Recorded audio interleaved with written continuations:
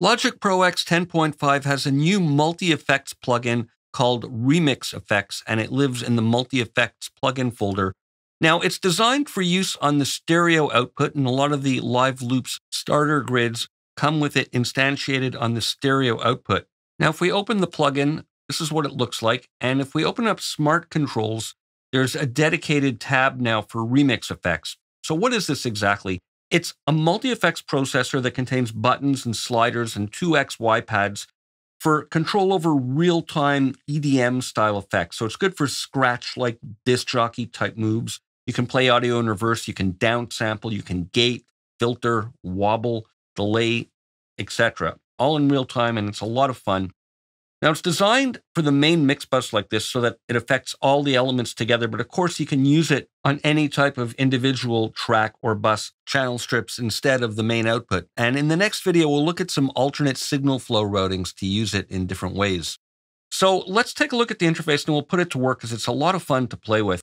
So we have over here the two XY pads. When we click on this panel, we get a choice of six different effects and it's the same on both, same choice of six, but we can't have the same effect on both. So we can get different ones. And when we open up this settings panel, we get some additional controls and they update depending on the effect that you have. For example, filter, we have a choice between two different types. And for example, here, maybe I'll go to wobble. We have just some time based parameters to choose from.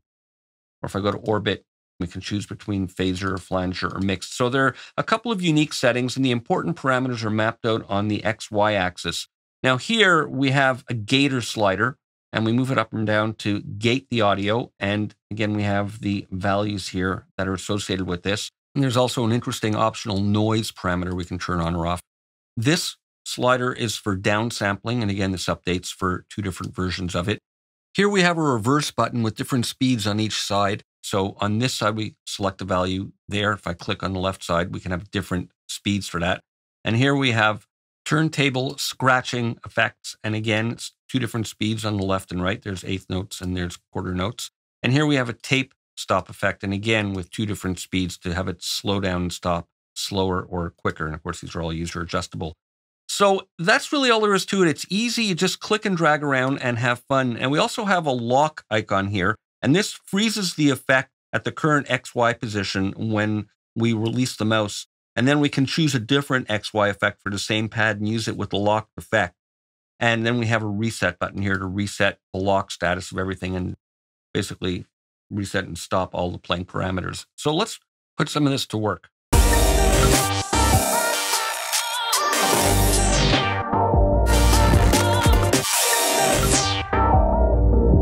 Lock that there.